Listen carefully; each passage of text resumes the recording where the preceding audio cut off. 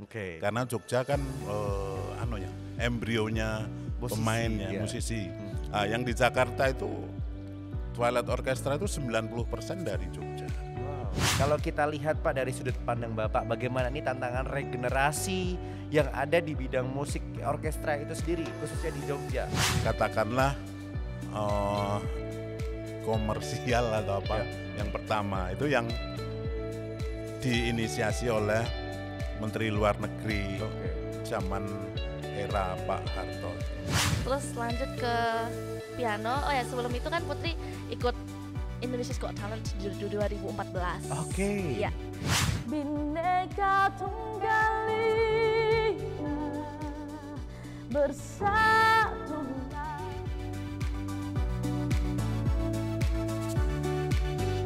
Salam budaya, lestari budayaku. Baik teman-teman, kita berjumpa kembali dalam podcast Taman Budaya. Kali ini kita bertemu di YouTube channel kita yaitu Taman Budaya Yogyakarta. Terima kasih buat teman-teman yang bergabung kali ini dan ingin lebih tahu terkait tema yang begitu luar biasa hari ini. Lain daripada yang lain. Kali ini kita akan bahas sebuah tema terkait dengan musik ya. Jadi buat teman-teman yang suka musik ini harus dengerin dan ikutin sampai nanti selesai. Luar biasa sekali. eh, mungkin teman-teman gak asing juga ya beberapa yang sudah terjun di dunia musik terkait dengan simfoni. Simfoni apa sih simfoni? Simfoni bisa diartikan berbunyi bersama-sama, mengalun dalam nada dan harmoni. Simfoni juga dapat diartikan sebagai karya musik panjang dalam yang khususnya bentuknya sonata.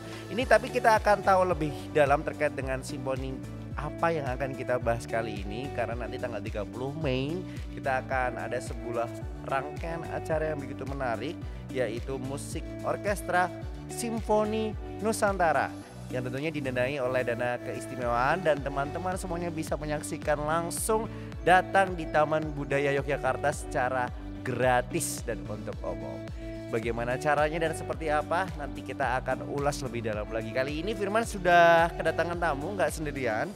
Beliau adalah seorang pakar musik yang begitu luar biasa, sudah profesional di bidangnya. Ada Bapak Fajar Ganif. Selamat siang Bapak Fajar Ganif. Selamat siang. Apa kabar, Bapak? Baik, alhamdulillah. Sehat ya Pak ya? Alhamdulillah. Alhamdulillah. Ini ke setelah kita lama nggak berjumpa juga ya Pak ya. Iya. Guru musik saya ceritanya nih. Ditemukan di Taman Budaya Yogyakarta ya Pak ya. Iya, iya. Karena kaitannya ini adalah akan ada sebuah acara nanti tanggal 30 Mei. Betul Pak? Betul. Iya. Tapi sebelum kita akan membahas eh, acara tanggal 30 Mei nanti, saya tuh sebenarnya juga pengen tahu nih Pak, kalau melihat eh, fenomena-fenomena terkait dengan musik saat ini khususnya di Yogyakarta. Karena kita tahu bahwa dewasa ini tuh banyak sekali pentas simfoni orkestra di Jogja. Betul ya Pak? Iya, betul. Banyak banget kemarin juga kita tahu lewat sosial media acara-acara musik yang digelar di Yogyakarta. Nah, apa yang akan membedakan simfoni orkestra nantinya yang akan kita saksikan bersama dan kita laksanakan tanggal 30 Mei dengan orkestra di luar sana gitu, Pak. Iya. Eh, pertama yang membedakan adalah tentu saja nantinya lagu-lagunya. Lagu-lagunya. Ya. Jadi kita eh, pentas orkestra di Yogyakarta ini akan mengangkat lagu-lagu yang eh, lagu-lagu daerah lah Ya, gitu di aransemen secara simfoni Oke. seperti yang di luar negeri tapi di luar negeri kan eh, mungkin hanya karya klasik ya Iya, betul. dari Bach, Beethoven, seperti itu. Mozart, Tchaikovsky dan sebagainya. Ah, kita mengangkat lagu-lagu eh, daerah di aransemen secara simfoni. gitu. Wow, lagu-lagu daerah yang diangkat aransemennya secara simfoni. Iya. Ini kalau kita lebih dalam lagi ya Pak, Iya. terkait mungkin secara general eh, sebelum kita terlalu dalam, simfoni sendiri ini sebenarnya gimana sih Pak? Apa sih Pak definisi dari simfoni? Eh, simfoni sendiri tadi Mas Adong sudah eh, mengulas juga, cuman lebih detailnya lagi, simfoni adalah karya yang panjang atau karya, Karya yang, yang panjang. besar gitu oke. loh. Uh-huh. Eh, panjang dalam arti durasi eh, lagunya itu Iya, itu iya. panjang kalau simfoni. Bahkan kalau yang eh, Beethoven dan sebagainya sampai ada bagian satu, bagian dua, bagian tiga dan bagian empat. Ah kalau simfoni yang di Indonesia ini ah, nantinya kita akan ada medley lagu-lagu daerah yang mana tuh waktunya panjang, durasi lagunya itu panjang.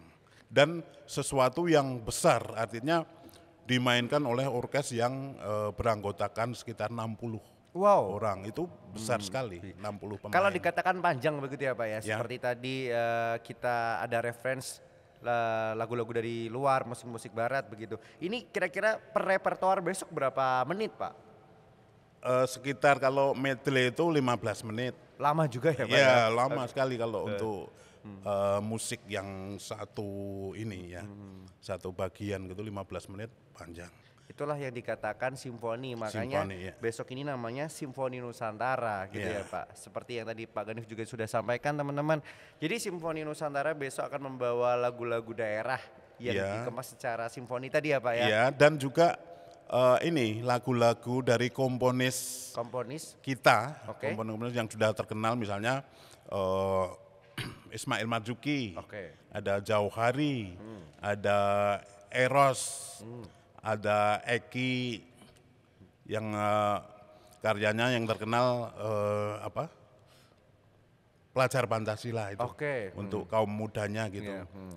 Nah, itu kita angkat ke dalam simfoni. Jadi kita aransemen dengan eh, berbagai alat yang ada di orkes simfoni mulai dari tiup kayu, flute, oboe, klarinat, fagot. Ya. Untuk brassnya horn, trompet, trombon, tuba. Oke. Perkusi yang ada empat pemain, timpani, eh, glockenspiel, marimba, simbal, snare drum. Kemudian ada string, Oke. Nah, yang jumlahnya 60 Banyak juga pemain, ya Pak ya. banyak sekali. itu Pemainnya dari mana besar. ini? Dari mana besok? Pemainnya dari Yogyakarta. Yogyakarta. Iya. Oke. Terkait dengan dana keistimewaan juga, ya kan? Jadi orang-orang Jogja yang disejahterakan di sini ya Pak Iya, ya. iya, betul. Ini eh, oke kita kembali ke topik eh, terkait dengan acara tanggal 30 Mei nanti. Sebenarnya maksud dan tujuan diadakannya acara ini untuk apa Pak? Eh, gini, untuk menyemarakkan eh, pementasan orkestra yang ada yang di kota Yogyakarta ini.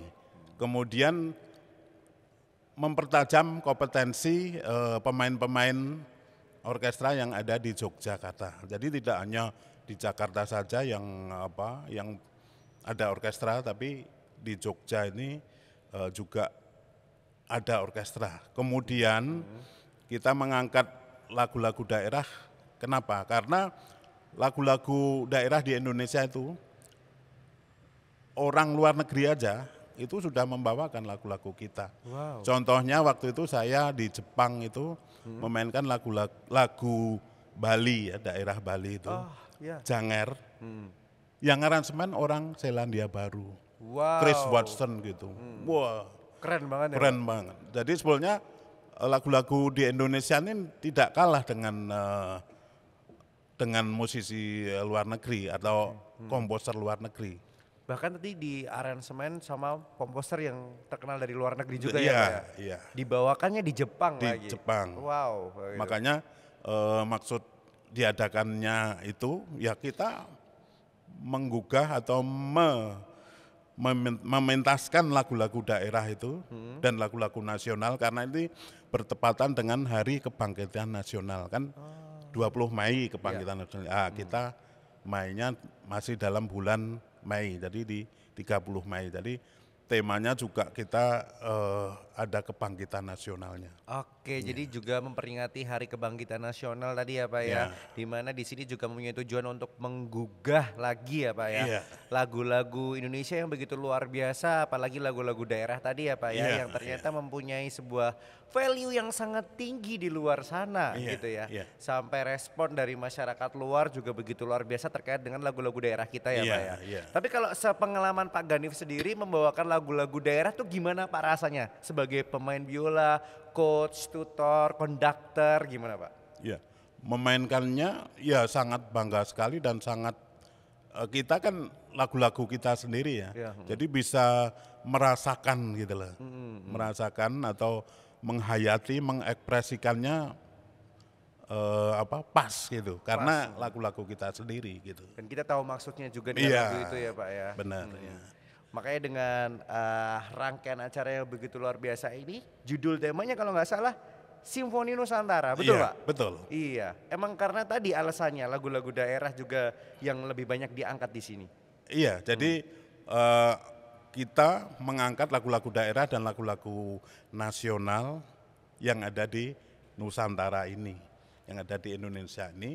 Makanya kita beri tema Simfoni Nusantara. Gitu. Ini kalau baru disepil sedikit aja ya dari Bapak Ganif itu sudah penasaran sekali loh eh, besok akan seperti apa. Bisa nonton ya Pak ya? Iya, Teman-teman semua nonton gratis. Gratis, ya. Iya.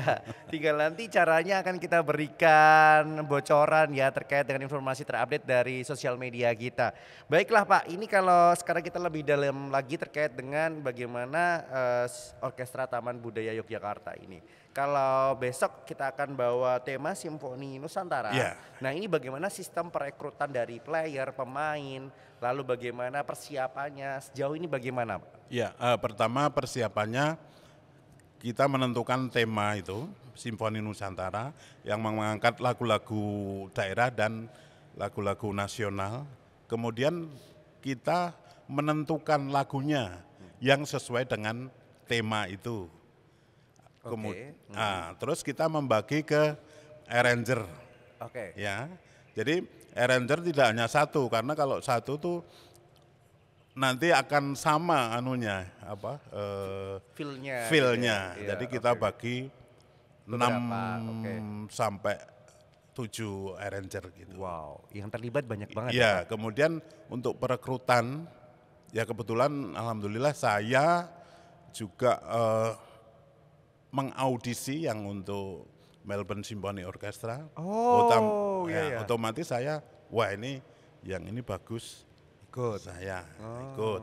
Kemudian eh, ada ujian UJK anak-anak SMM itu bagus kita. Good. Kemudian ada yang banyak sudah ikut di orkes eh, Twilight Orchestra atau Simfoni Jakarta dan sebagainya kita ikutkan juga di sini. Jadi tidak eh, audisi secara khusus gitu, Oke. tapi kita juga mengaudisi dengan begitu itu. Jadi Oke, jadi eh, tentu saja karena Pak Ganif di sini punya otoritas diri ya Pak ya terkait dengan eh, pengalaman yang begitu luar biasa melihat bagaimana para player ya. yang bagus dan mempunyai jiwa di sini nantinya akan dibawa oleh Pak Ganif begitu ya di Iya. sini. Kurang lebih tadi kalau nggak salah Pak Ganif sampaikan 60 orang. 60 ya, 60. Banyak banget Pak, susah nggak cari orang itu Pak?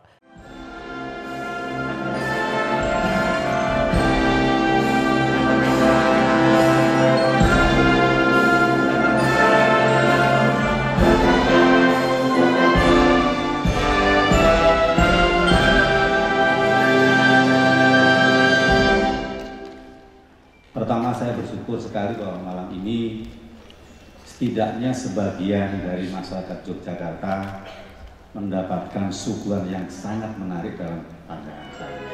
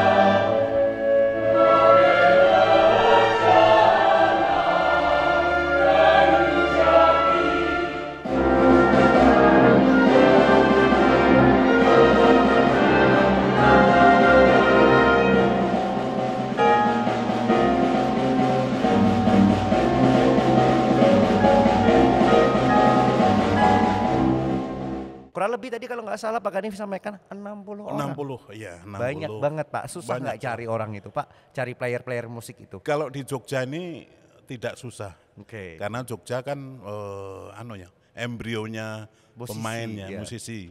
Ah, yang di Jakarta itu Twilight Orchestra itu 90% dari Jogja Wow. pemainnya. Dan orkes-orkes lain di Jakarta sana itu umumnya dari Yogyakarta. Umumnya. Jadi Ya. kita patut bangga dengan Jogja ya Pak ya. Iya, bangga sekali harusnya. Jadi embrio musisi-musisi ya Pak yang Iya. ada di kancah nasional maupun internasional dari Maupun Indonesia ya. internasional, iya. Ini eh, memang tadi kita sudah lihat bagaimana eh, sistem eh, penyeleksian handpick yang dilakukan oleh Pak Ganif terhadap musisi-musisi yang berkompeten Iya. untuk nantinya tergabung menjadi eh, musik orkestra kali ini yang akan tampil tanggal 30 Mei dengan temanya adalah Simfoni Nusantara. Berarti sudah latihan belum Pak atau bagaimana ini persiapan lainnya? Hmm. Eh, belum latihan, jadi nanti kita baru mulai itu tanggal 22. Oke. Hmm. Lalu akan rutin di sana ya Pak? ya? Rutinnya. Jadi sekarang lebih ke mix and match, repertoire, komposer, persiapan teknis yang lainnya gitu ya Iya. Pak ya. Oke gitu ya.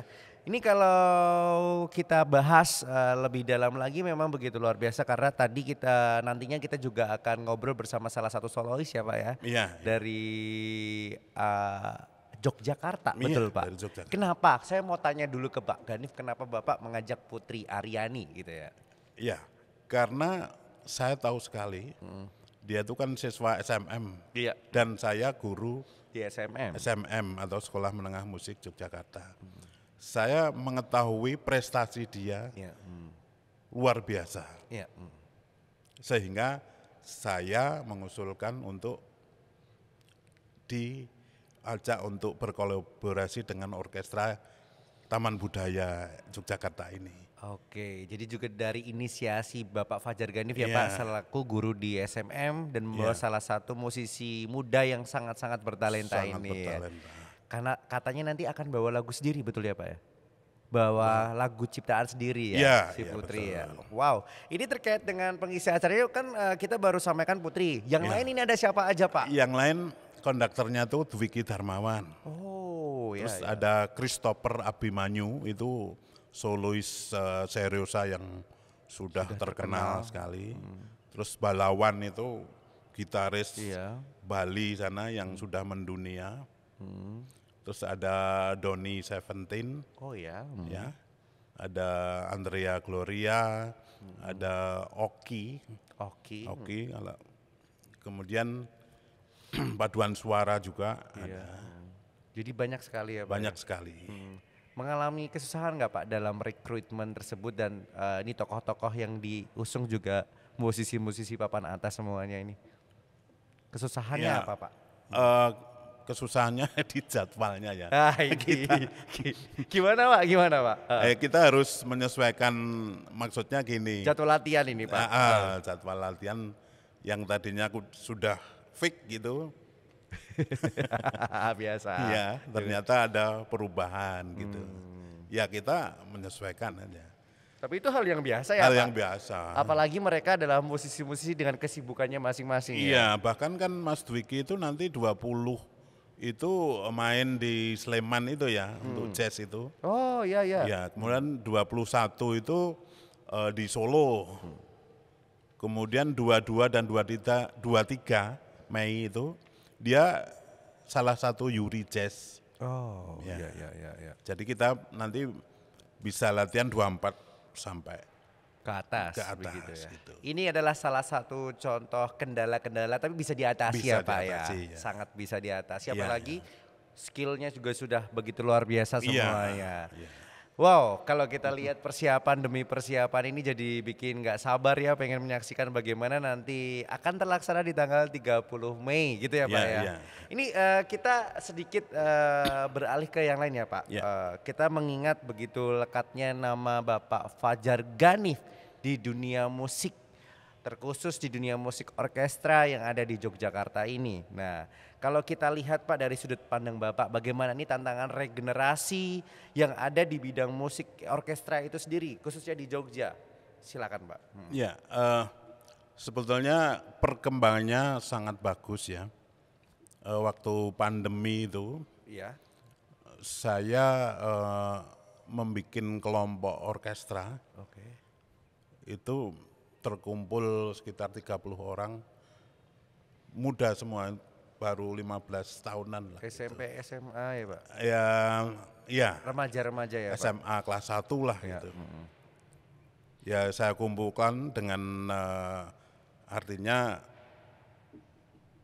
apa kesehatan tetap kita Prioritas. prioritaskan ya. Itu sangat luar biasa anunya apa eh, perkembangannya. Kita juga sudah eh, main di mana-mana sampai di ulang tahun kota Grobogan ya. Oh, itu iya. itu kita dipanggil di sana dan luar biasa di sini di mall-mall waktu itu sudah boleh ya sudah buka mall-mall itu jadi bisa kita untuk ajang ini pentas, Pentas. pengalaman pentas itu dan itu kan oh, luar biasa anunya apa pengalaman pentas itu sangat-sangat eh, dibutuhkan untuk siswa yang eh, belajar seni ya Iya. khususnya orkestra itu tadi. Tapi kalau Bapak melihat di Yogyakarta sendiri Pak, eh, bagaimana minat dari masyarakat yang ingin menjadi musisi atau terlibat dalam sebuah musik orkestra, ini minatnya banyak nggak sih Pak? Banyak sekali. Bahkan sekarang kan SMA itu banyak sekali yang sudah mempunyai orkestra.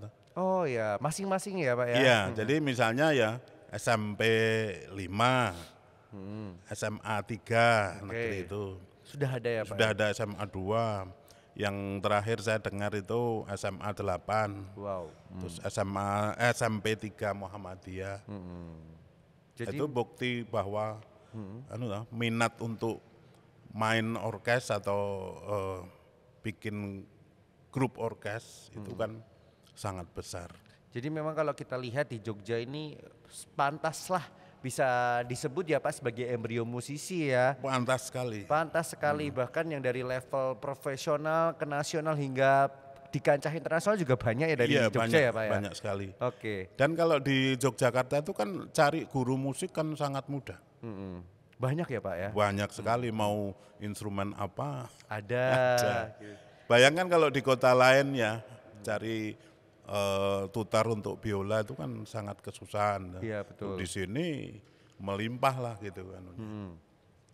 Ini pasti banyak juga sekali murid-murid dan siswa-siswinya Pak Fajar Ganif ya Pak yang menyaksikan sudah sukses di tingkat nasional maupun internasional. Kalau besok senggang boleh juga nonton ya Pak ya. Iya, Tanggal iya. 30 Mei itu ya. Iya. Oke Pak, ini kalau kita masuk ke dalam ruang lingkup bagaimana tanggapan masyarakat sendiri kalau dari kacamata Pak Ganif nih selaku bagaimana sudah pakar di bidang musik. Ini kalau kita katakan simfoni orkestra tuh orang luar atau orang awam pasti eh, menyebutnya tergolong mewah, Iya. mahal dan sebagainya. Iya. Begitu ya Pak ya. Iya. Kalau mungkin orang-orang awam menyebutnya begitu. Lalu kalau dari Bapak sendiri sebenarnya gimana Pak? Cabang musik ini tuh bisa nggak sih diakses, dinikmati oleh berbagai kalangan, semua kalangan atau seperti apa? Sangat bisa ya. Tergantung kita mengemas ya, mengemas itu sajian yang akan kita berikan harus yang eh, audiens itu mengerti gitu. Iya, heeh. Jadi misalnya ya, Oke. lagu-lagu yang terkenal itu kita kemas dengan bentuk orkestra. Oke.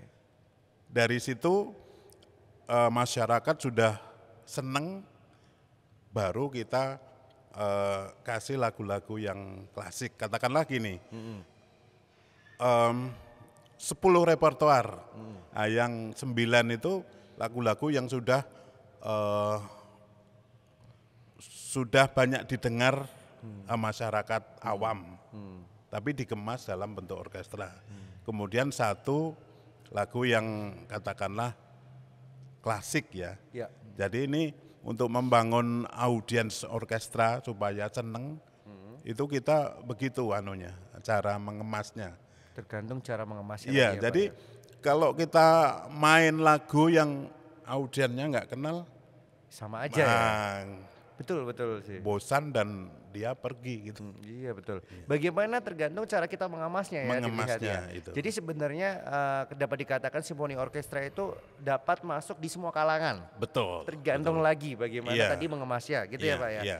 Lalu kalau nggak salah nih kabarnya karena uh, dalam simfoni orkestra nanti di tanggal 30 Mei Simfoni Nusantara ini Pak, kita bersifat inklusif. Ada juga salah Iya. satu solois yang dibawa Bapak begitu ya Iya. tadi. Uh, salah satu solois yang ini begitu luar biasa namanya kiprahnya di dunia musik, Musik, gitu ya, iya. yaitu Mbak Putri Aryani ya, Iya. seorang difabel yang mempunyai benar-benar talenta yang begitu luar biasa ya Iya, Pak, dengan prestasinya itu. Iya. Makanya sebenarnya teman-teman yang di luar sana juga mungkin eh, bisa mendapat inspirasi dari sini ya Pak ya. Iya, Sebenarnya ini bisa masuk di semua kalangan. Siapa pun bisa jadi Iya. playernya bahkan bisa menjadi konduktornya bahkan bisa juga ya Pak ya terjun dengan serius dunia musik gitu ya Pak. ya? Iya. Oke, itu tadi ya salah satu apa bentuk bagaimana musik ini sebenarnya general, semuanya bisa masuk gitu ya Pak ya. Iya. Ini kita eh, lebih ini Pak, pengen tahu dari sudut pandang pengalaman dari Pak Ganif sendiri selama sudah terjun di dunia musik yang sangat lama gitu. Iya. Bagaimana kondisi eh, industri musik eh, di Jogja terkhususnya Pak atau dari kacamata Bapak melihat mungkin para pemain biola, para pemain orkes ini eh, punya daya saing nggak sih satu sama lain? Terus kalau Bapak lihat sendiri bagaimana pertumbuhan mereka, mungkin murid-murid Bapak yang nantinya eh, bisa menjadi pesan baik untuk mereka bisa semangat untuk tetap belajar musik gitu Pak. Iya. eh, Daya saingnya banyak Pak atau gimana? Mereka gigih nggak sih Pak satu sama lain ini? gigih itu. Banget Iya, ya, Pak? Banget. Hmm. Jadi kan di Jogja itu eh, orkestra itu sangat familiar ya. Ya, oh. Buktinya saya eh, di wedding itu di wedding banyak juga oh, kan Pak? banyak juga. Eh, maksudnya eh, klien yang minta orkestra itu banyak. Dan juga grup-grup orkestra wedding juga di Jogja. Jogja, kan banyak. Betul. Nah, itu artinya kan daya saing kita Iya, mm, mm. itu kan tinggi. Maksudnya kita bersaing secara sehat kan begitu. Iya, iya, Jadi mm. saya rasa itu. Jadi memang daya saingnya cukup cukup bagus Cukup bagus di Jogja. gitu, Ya, ya. makanya tadi em- jadi embrio ya dikatakan Ya. Pak Ganif. Kalau kita masuk lagi Pak, kalau karena daya saing itu begitu tinggi, pastikan outputnya kita pengen menjadi musisi yang kelas berkualitas, profesional dan bagus gitu ya Pak. Ya. Yang dapat dikatakan kalau dari kacamata Bapak, musisi yang bagus itu seperti apa Pak? musisi yang bagus tidak hanya permainannya Oke. tetapi disiplinnya artinya eh, latihan tepat waktu Oke.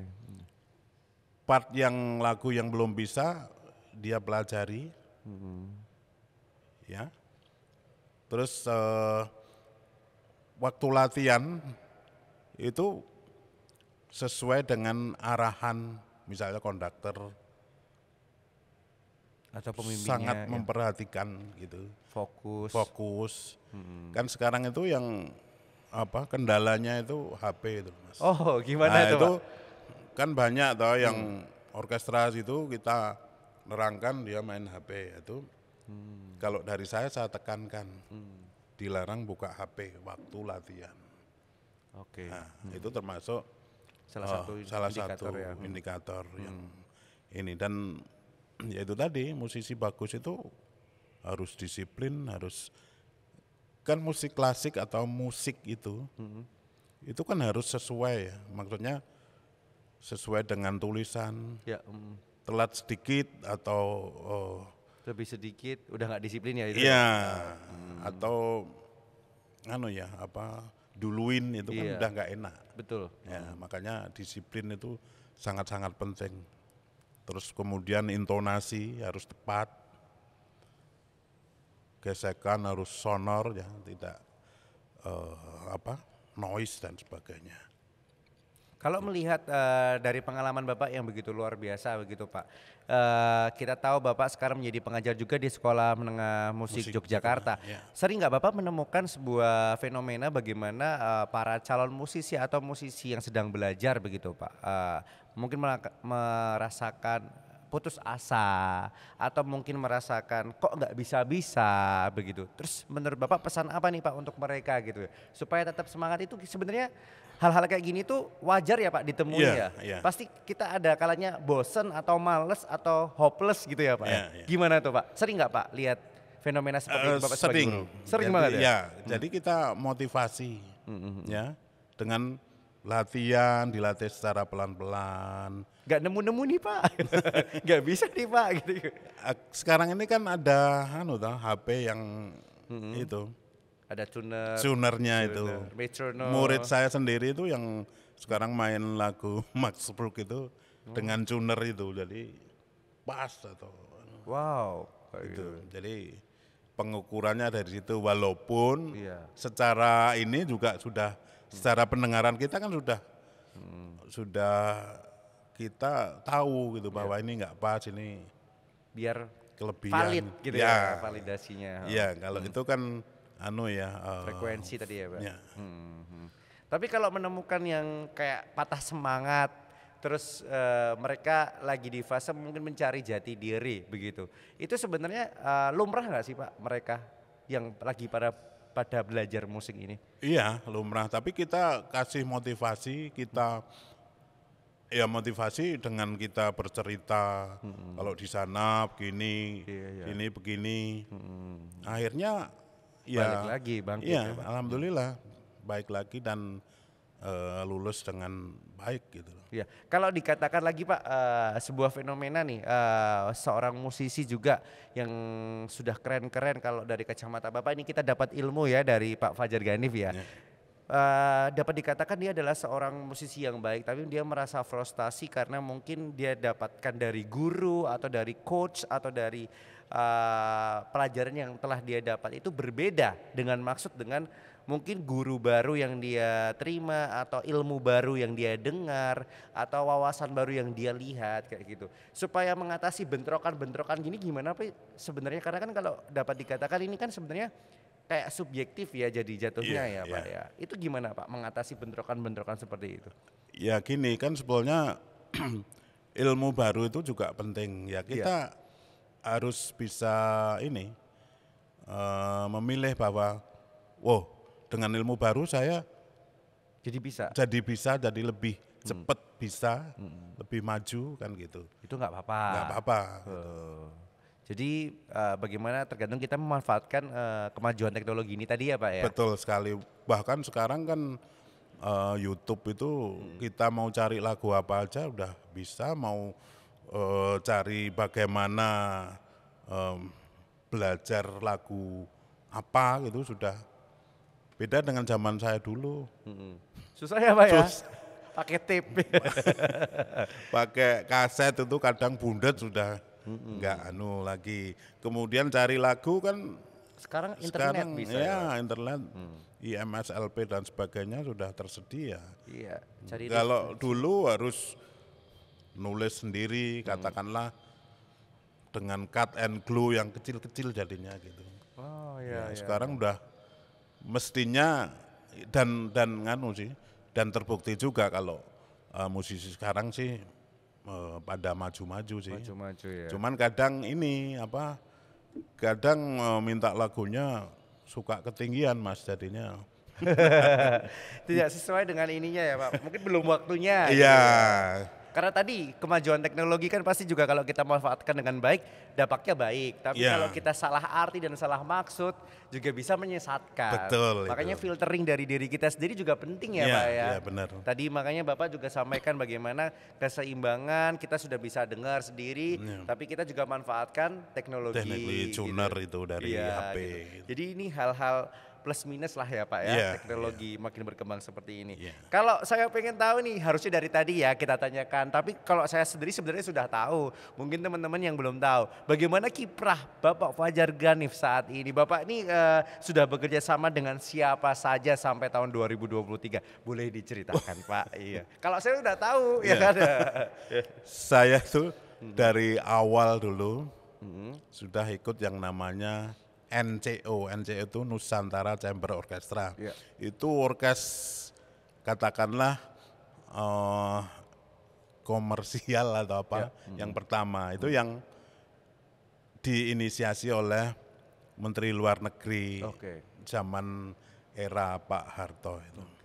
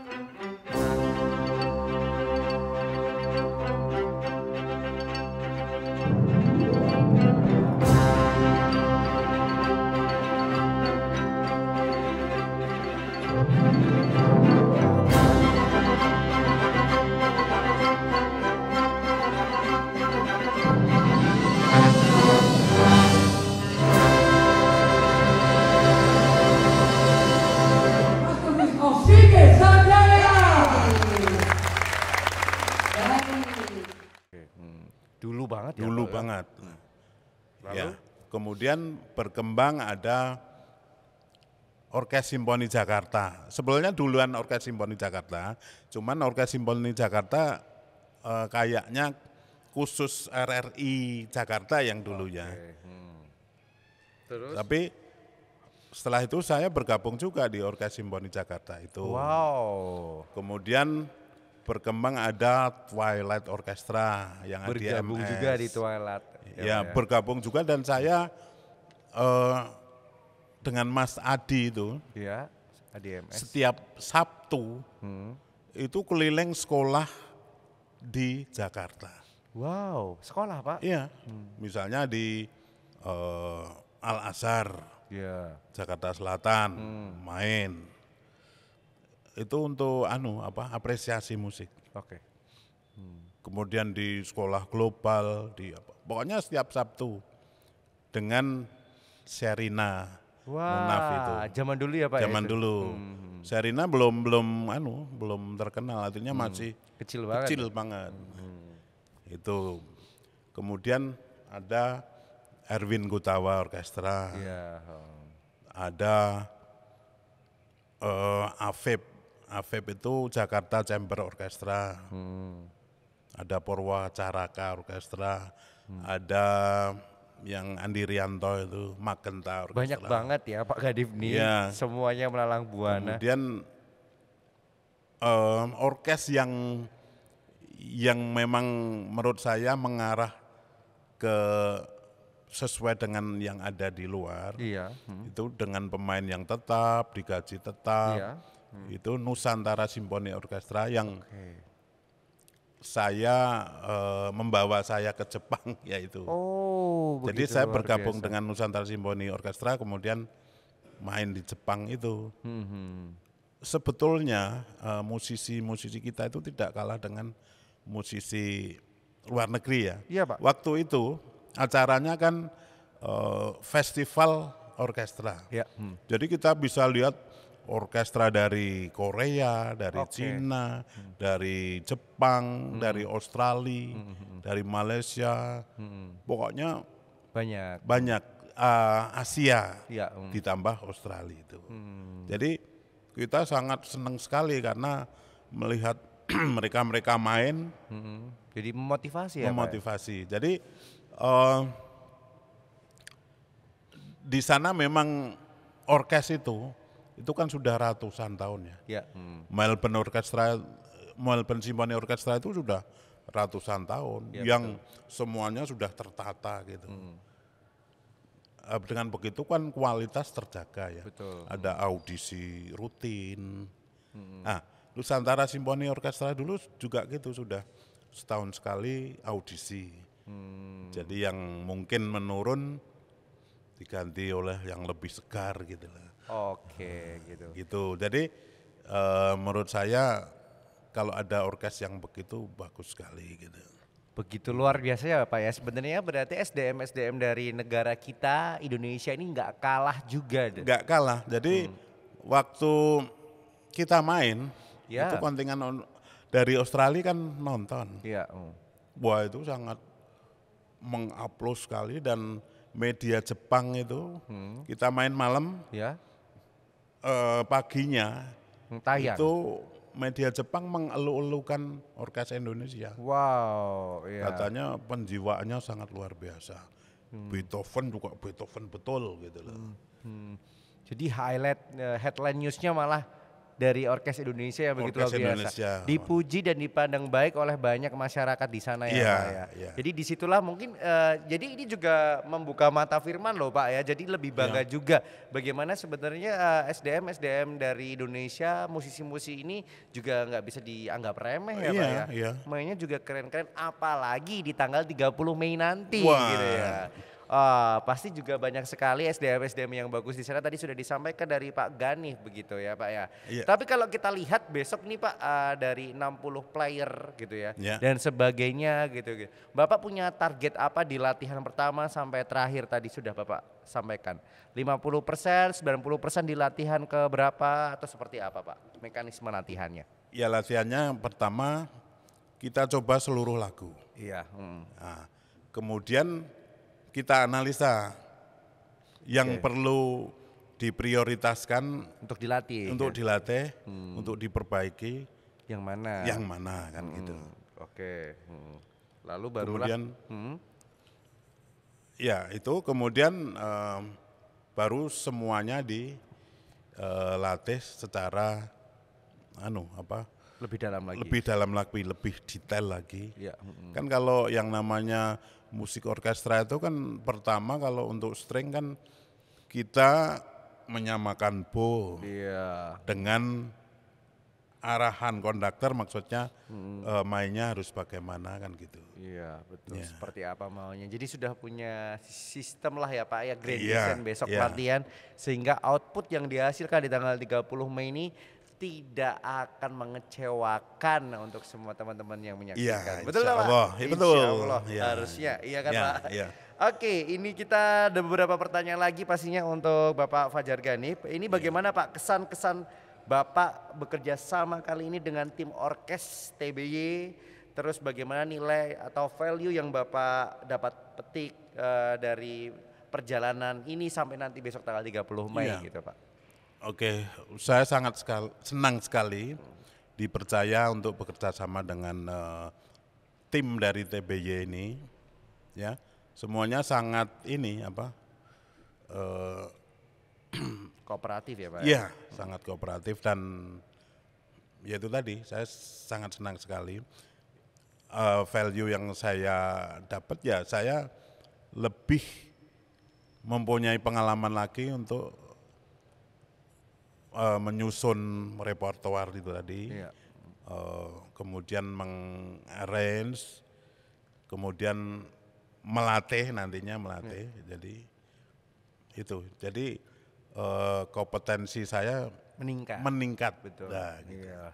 Oke, jadi begitu luar biasa pastinya juga yang didapatkan Pak Ganif, tapi juga terima kasih juga Pak Ganif sudah memberikan yang terbaik juga untuk tanggal 30 Mei besok. Terakhir ya, Ya. Pak ya, Ya. last but not least, eh, apa nih harapan Bapak bagi perkembangan musik orkestra di Yogyakarta untuk ke depannya sebagai Bapak pakar musik dan juga guru di sekolah musik? Ya. Harapan saya eh, banyak berdiri orkes-orkes di Yogyakarta ini. Amin. Ya, Eh, sekarang kan udah ada Universitas Gajah Mada Orkestra, Iya. UMY Orkestra, kemudian dengar-dengar Ahmad Dahlan dan sebagainya. Jadi kalau banyak orkestra itu iklim persaingannya itu itu sangat positif sekali buat kemajuan orkestra Oke. khususnya di Yogyakarta ini gitu. Oke, jadi harapannya seperti itu ya Pak ya. Ya. Bagaimana nanti banyak lahir-lahir eh, orkestra-orkestra mungkin dari masing-masing universitas gitu ya Iya, Pak ya. Dan dalam kesempatan kali ini kita sudah ngobrol banyak banget bersama Pak Ganif. Ada lagi nggak Pak yang mau disampaikan untuk seluruh masyarakat yang menyaksikan kali ini dari Bapak? Ya harapannya nanti di tanggal 30 Yap. penuhilah konsert hall dari Taman Budaya Yogyakarta. Dan datang saksikan karena acaranya gratis. Betul ya Pak Kadif? Iya, betul. Ini begitu luar biasa banyak sekali kita dapat pengalaman ilmu-ilmunya yang kita dapat petik juga dari Bapak Fajar Ganif dalam kesempatan hari ini. Sekali lagi Bapak terima kasih atas kehadirannya Sama-sama, hari ini. ya. Sukses selalu untuk karir dari Bapak Ganif Amin. ya. Tetap menjadi inspirasi kita semua para musisi yang ada di sini. Amin. Lalu nanti Ya. kita bisa bekerja sama kembali ya Pak ya. Iya, ya, Oke. amin. Baiklah begitu teman-teman dan kita mau nonton dulu ya Pak Ganif ya. Ya. Kali ini adalah salah satu solois yang nantinya juga akan tampil di tanggal 30 Mei. Yang tadi juga di handpick langsung sama Pak Ganif. Ini dia penampilan dari Putri Aryani.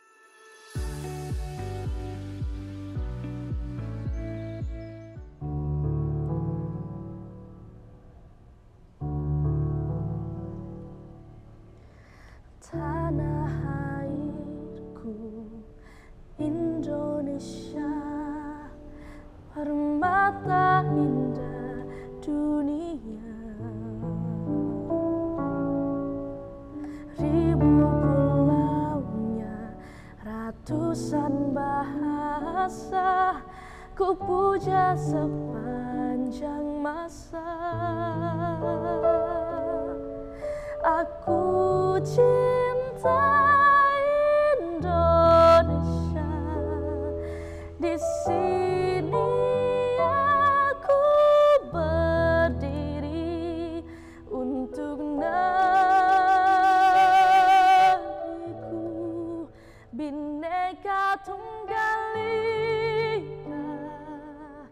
Bersatulah kita dalam perbedaan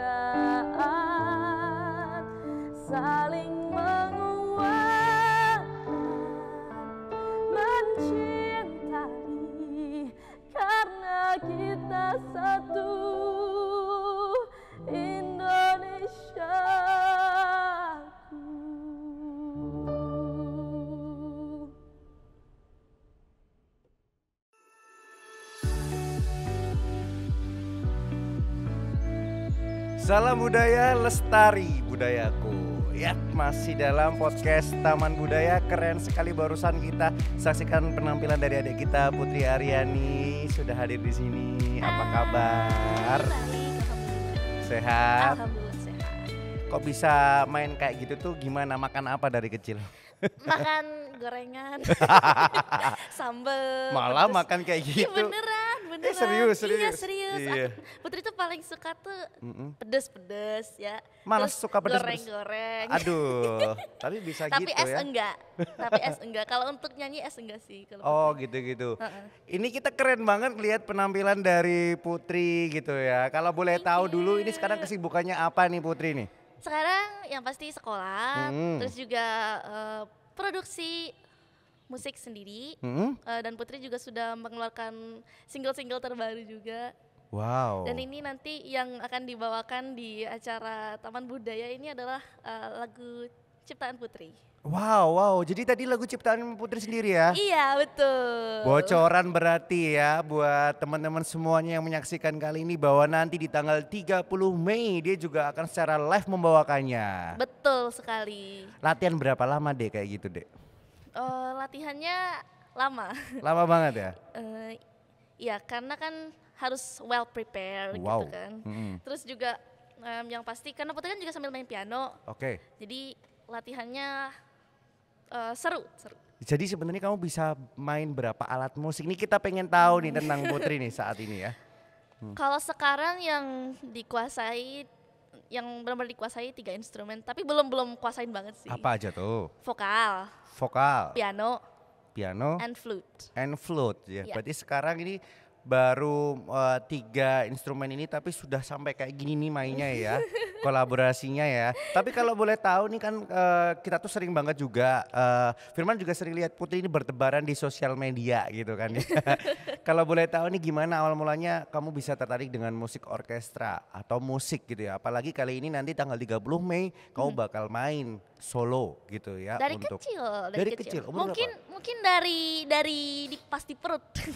pas di perut ya. Soalnya emang dari dari dulu itu mama sama papa emang udah kasih Putri denger orkestra, terus Hmm. lagu-lagu. yang 80s, 90s gitu. Oke. Em, terus juga lagu-lagu baru. Putri sebenarnya suka old genre. Oh Iya. gitu gitu. Tapi kalau diruntut dari awal dek, sebenarnya kamu dari belajar apa dulu sih? Awalnya nyanyi dulu dari umur 2 tahun. Hmm. Terus lanjut ke piano. Oh ya, sebelum itu kan Putri ikut Indonesia's Got Talent di 2014. Oke. Iya.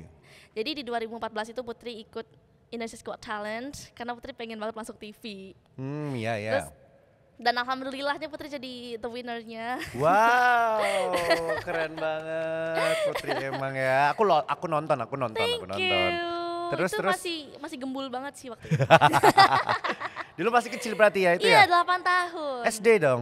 Kelas 2. Kelas 2 gila loh jadi winernya loh di situ. Gak pernah nyangka, soalnya Nggak- termasuk peserta yang kecil di situ. Iya, paling muda lah ya di situ ya, tapi jadi winner. Setelah dari itu Terus vakum dulu dua Hmm. tahun. Karena kan mikirnya kalau anak kecil itu kalau udah menang ya udah gitu Iya, ya kan. betul. Tapi ternyata enggak. The end is not there gitu. Terus akhirnya Putri lanjut lagi untuk mulai lagi di 2017 itu Mhm. buat social media.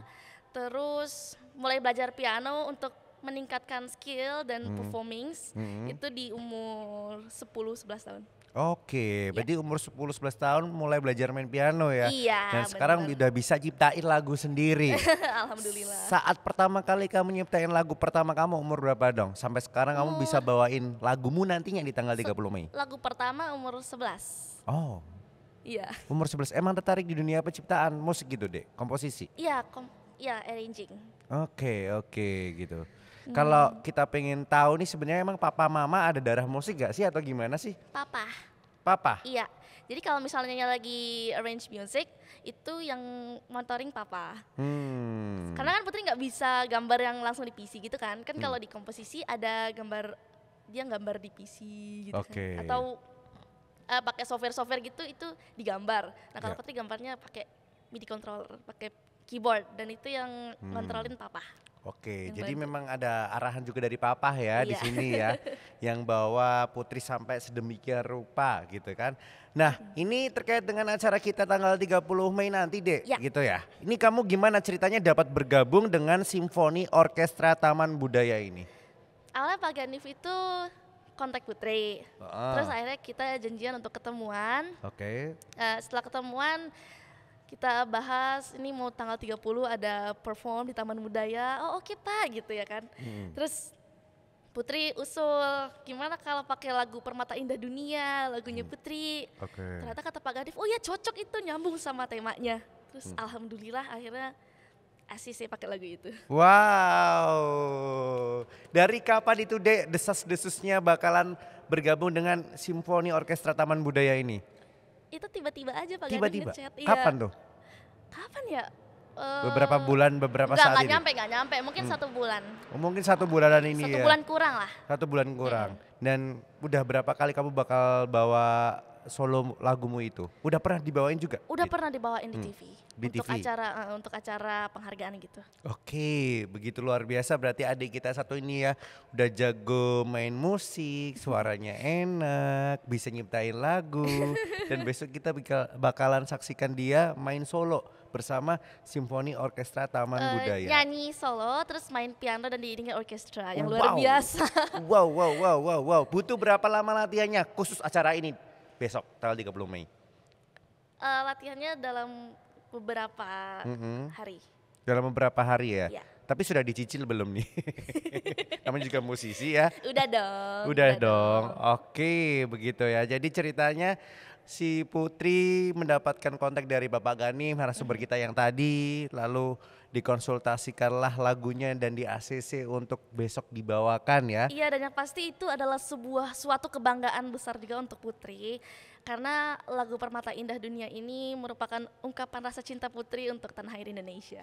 Wow, itu bagaimana kamu dapat inspirasi nyiptain lagu itu?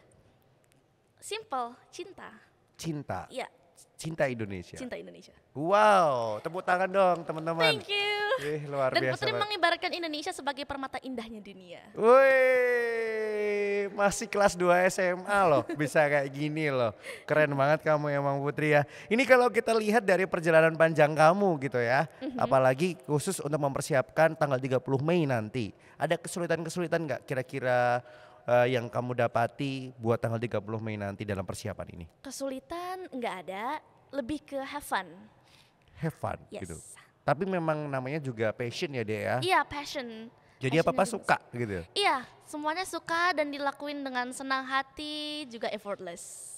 effortless gitu. Tapi kalau lihat Putri ini emang jadi pengen ini ya, nggak mau kalah, pengennya pengen main musik terus gitu ya. Apa-apa bisa. Latihan terus Latihan ya. terus. Emang sehari latihan berapa kali deh? Apa eh, latihan vocalizing atau main piano, Ya, pejarian dan sebagainya? Hmm. Vocalizing, main piano, arrange music, songwriting, Hmm. banyak. Tiap hari tapi ya. Tiap hari, flute juga. Waduh gitu gila banget sih. Tapi kalau lihat eh, dia mainnya cuplikan tadi seperti itu pasti penasaran dong nanti bagaimana bergabungnya dia bersama Simfoni Orkestra Taman Budaya jadi solois ya gitu ya lah ya. makanya jangan lupa buat nonton di tanggal 30 Mei nanti. Asik. Jadi nanti kita tunggu teman-teman semuanya ya. Ajak Iya. papa mama juga loh dek ya kan.